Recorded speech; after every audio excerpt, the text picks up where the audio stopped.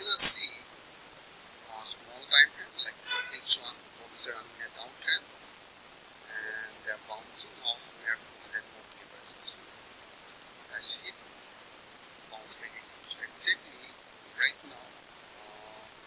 price near 150 exponential moving average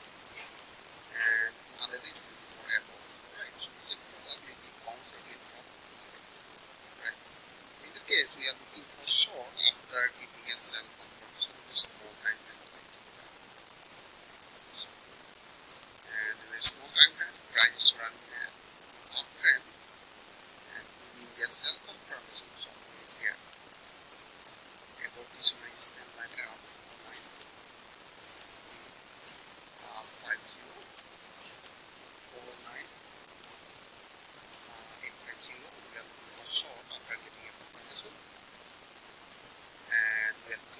Uh,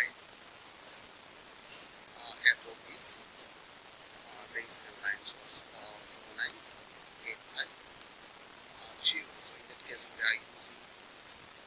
calculating strategy and for the short we are using um, let's say RSI divergence pattern